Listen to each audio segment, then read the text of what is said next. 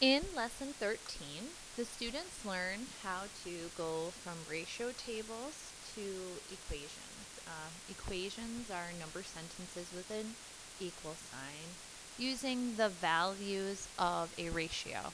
Okay, so I'm going to show you this table. Okay, hours worked, money made.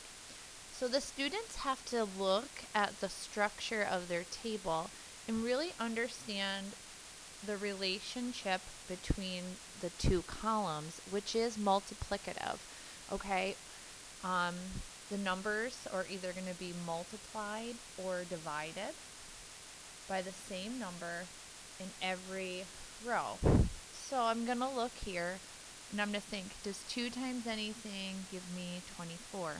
Okay, it might be helpful to um, scale this first ratio, 2 to 24, down to its simplest form to see the most raw version of the ratio.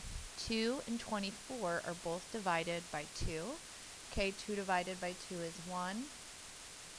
24 divided by 2 is 12. And it's really important for the kids to understand for every hour worked, $12 is made. Okay, so 1 times 12 is going to give me 12. So let me check the pattern here.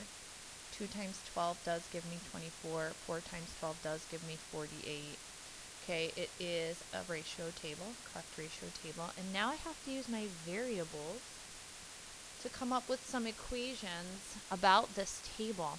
I'm going to start with the first column, which is h.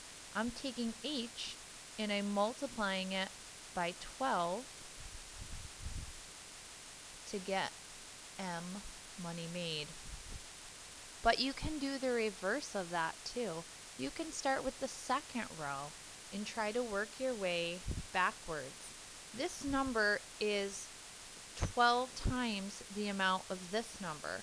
Okay, so in order to work backwards, we're not going to multiply. We're going to take 24, or m, and we're going to divide it by 12 to get the h hours worked. Okay, Sometimes these tables end up as ratio table or even numbers. Sometimes we have to work with some decimals. Okay, and that's fine too. Okay, the second table I have provided, again, hours worked H to money made M.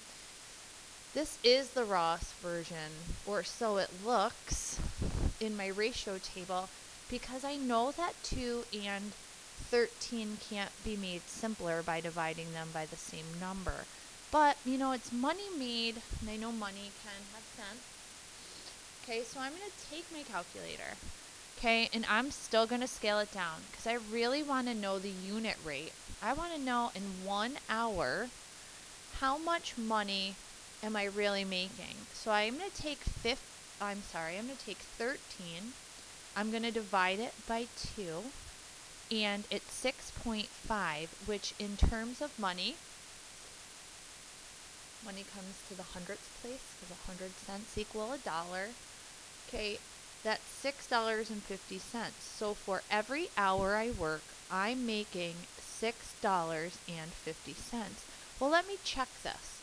This should be a one times 650 multiplicative um, pattern in my ratio table. So let me try 2 times 650 on my calculator to make sure it equals 13.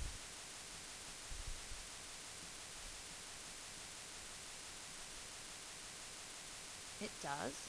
Let me try 4 times 650 to make sure that it equals 26, and it does. This pattern is going to carry all the way through.